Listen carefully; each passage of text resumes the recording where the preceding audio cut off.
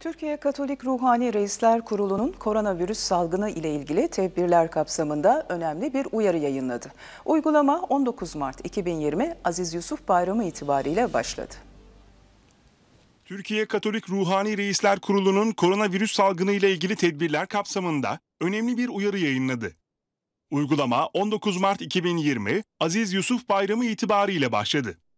Yapılan açıklamada kiliselerdeki mahalli kilise grupları ve diğer toplantıların askıya alındığı, kutsal ayinin özel bir şekilde sınırlı sayıda imanlıyla litürjik hizmet için gerektiği biçimde yapılacağı, kiliselerin özel dualar için açık kalabileceği ancak kiliselerin tamamen kapatmayı tercih etmekte özgür olduğu, pazar ayinleri ve kutsal hafta dahilinde kutlanacak ayinler için sağlık krizi devam ettiği takdirde her mahalli kilisenin cemaatindeki inanlılar tarafından sosyal medya araçlarının kullanım olasılıklarını araştırarak bu kutlamaların çevrim içi ve doğada birlik içinde takip edilebilmesinin sağlayacağı, yukarıda belirtilen durumların sonucu olarak imanlılar bayram kutlama kuralını yerine getirme yükümlülüğünden mazur görüleceklerdir dendi.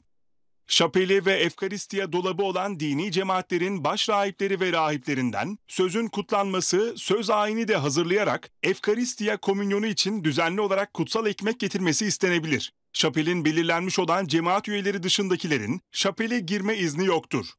İçinde bulunduğumuz bu günlerde günlük yaşam için verilen talimatları yerine getirmek büyük önem taşımaktadır. Evden mümkün olduğunca az çıkmak, elleri sabun ve suyla ya da antibakteriyel jelle sık sık temizlemek, tokalaşmamak, fiziksel temastan kaçınmak, insanlarla en az bir metre mesafeden konuşmak ve bunun gibi. Sağlık Bakanlığı ve Türkiye Diyanet İşleri Başkanlığı tarafından normal günlük yaşama dönmek için resmi yönergeler verildiğinde bu normlar da yürürlükten kalkacaktır. Açıklama, virüsün bulaşması ve yayılmasını önlemek ve herkesin iyiliğini gözetmek için her birinizin anlayışına ve ortak duyarlılığına güveniyoruz. Doğada birleşmiş olarak bu iman, ümit ve sevgi denenmesinin acılarında tüm insanlığa merhamet ve acımayla bakması için Peder Allah'a yalvarıyoruz şeklinde son buldu.